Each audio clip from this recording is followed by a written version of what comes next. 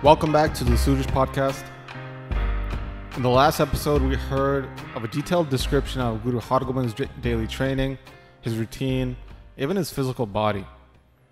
Now, in chapter 46, we are going to hear how people outside of the Sikh community are reacting to Guru Hargobind's new martial tradition that he has established.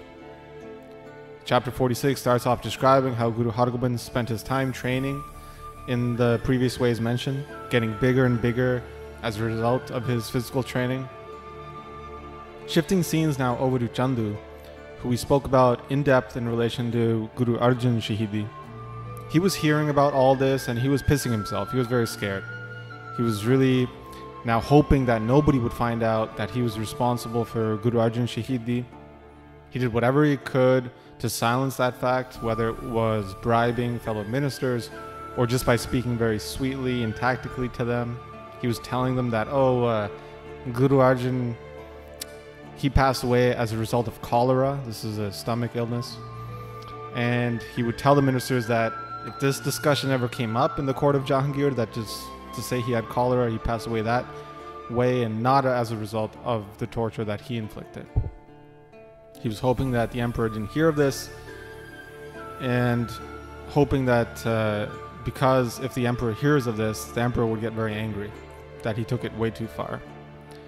But one day, he found a time to speak with the emperor.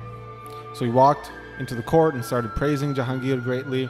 It's the first time actually he's come to Delhi after the torture that he inflicted on Guru Arjan in Lahore. So he had traveled that distance. Upon meeting Jahangir now, he made sure that any discussion of Guru Arjan didn't come come up. So he was praising Jahangir. He spent the time there meeting him for the first time, making sure that he was talking about other things. And slowly, slowly, he carried this on for the next little while when he would meet Jahangir. And slowly, his fear began to depart, thinking that, okay, this story of his meeting with Guru Arjan, the torture, and all that, everybody had forgot about all of that, and he wasn't going to get asked about how that went. So, on the other side, within the Sikh community, they knew well about this. They knew that Guru Arjan had passed away at the house of Chandu and as a result of his torture. But the community, they didn't say anything too vocally because they were afraid of the power that the minister Chandu had. But amongst themselves, they would curse Chandu, saying that, oh, well, Guru Hargobind has now made a vow, and he'll be sure, Guru Hargobind, to give Chandu very brutal death. This was now known across the Sikh congregations, the communities around the entire subcontinent. But some in the Sikh community thought that, well, this will be very difficult. They thought that Chandu is a Divan, a minister of the emperor, and countless people follow his command, is going to be extremely tough to capture him. They were thinking that well, Guru Hargobind, he's still very young. He didn't really think properly before making this vow. Who could take out the friend and the minister of the Emperor Jahangir? You know, Chandu has countless resources, he has countless soldiers. How will we, how will we respect this vow of Guru Hargobind? Many other Sikhs would counter this, and they would respond to these doubters, saying that Guru Hargobind is all powerful. He could turn a peasant into a king and a king into a peasant into an in, in an instant. Even the most impossible tasks he could achieve with the greatest of ease. But he just continues on acting out the life of a normal man. But understand, he has all the powers available to him. He just does not make this apparent. Whenever he wants to fulfill his vow, he will. He does as he wills, and no one can stop him. Guru Hargobind is the sixth form of Guru Nanak, and all gurus are but that one light. We will see him fulfill his vow. Just watch. We have this faith. So, this is how the discussions were happening during that time. There were these discussions within the Sikh community. Some were keeping faith in the Guru, and others were unsure that the Guru would be able to fulfill his vow.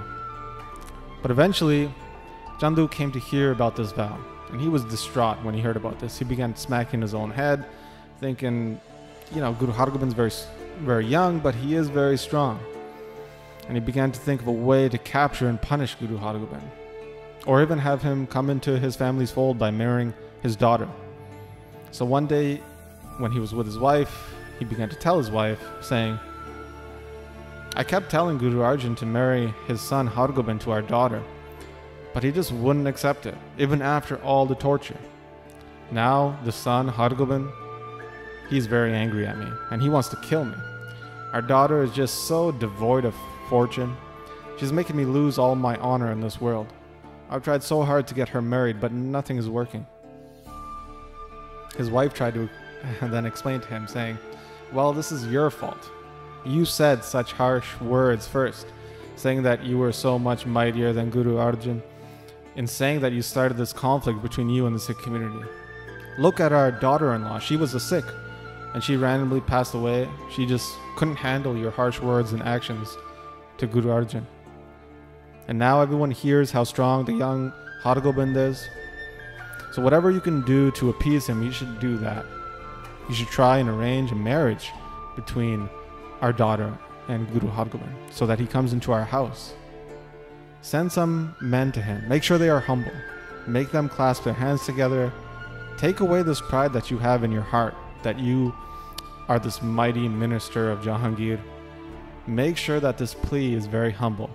Listen to me. Only send the best men for this, who will please and talk sweetly to Guru Hargobind so he's not upset about what happened to his father. So Chandu was thinking that, you know what, this is good advice my, my wife gave me. And he would go ahead and do this. It'll be a good idea that my daughter gets married to such a strong young man. And also, it'll be good that he won't want to kill me now that I'm his father in law. So Chandu left his house thinking about this. He came to the court of Jahangir. He talked to very wise men there. He was picking out the most senior members of the court, very wise men that he wanted to send to Amritsar to convince Guru Hargobind. So he was talking amongst a few people. He picked out two people there. And then in their presence, he wrote a letter instructing them to give this letter to Guru Hargobind when they got to Amritsar. And the letter that he was writing, it started off saying, Your father, for no reason at all, picked a fight with me. The simpleton Sikhs around you have must have said something to Guru Arjan which started this conflict. But this is old news. No one can erase what is done. One should not sit in anger. You should forget all of this and make my daughter your servant, your wife. Have a very praiseworthy wedding so that both sides now can be happy and can rid ourselves of this conflict. But if you continue on with the hate that your father has had with me and keep saying these things that you will kill me, then you should understand that just like your father called me a dog, and I bit him like a dog, and didn't stop until he died, in the same way I will kill you. Maybe you haven't understood my strength, but recognize it now. So forget your hatred and this conflict that you have against me, and let's come together as allies, as family. So this is how the letter read. And Chandu then instructed the ministers, the agents, to first speak very sweetly with Guru Hargobind, and only if he doesn't commit, then speak to him with anger and scare him. So after instructing them, he sent them off with a whole crew. The two messengers, they mounted a cart, and they also took some soldiers with them who traveled alongside on foot. They went from Delhi to Amritsar, and this took them a few days. They crossed the Satluj River, and then they approached Amritsar. And this is how chapter 46 concludes. In the next chapter, we'll hear the discussion between these messengers and Guru Hargobind. So that's where we'll pick up next time.